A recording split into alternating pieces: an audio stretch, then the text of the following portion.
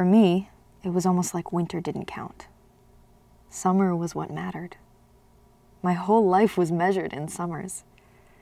Like, I don't really begin living until June, until I'm at that beach, in that house.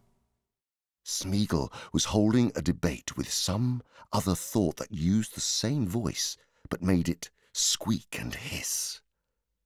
A pale light and a green light alternated in his eyes as he spoke. Smeagol promised, said the first thought. Yes, yes, my precious.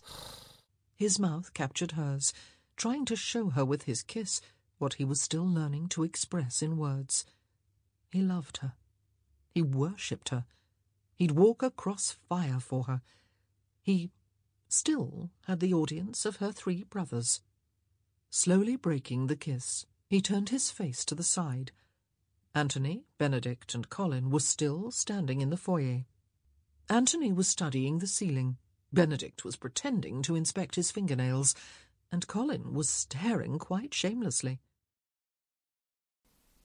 Jamie hugged me closer and pulled the quilts up over my bare shoulders. He'd have thought I'd got some sense at last. He stroked my hair. He'd have respected my choice, whoever it was. But you... He turned his head and kissed my brow gently. He would have liked you very much, my Sassenach. First of all, let me get something straight. This is a journal, not a diary. I know what it says on the cover, but when Mom went out to buy this thing, I specifically told her to get one that didn't say diary on it. Great.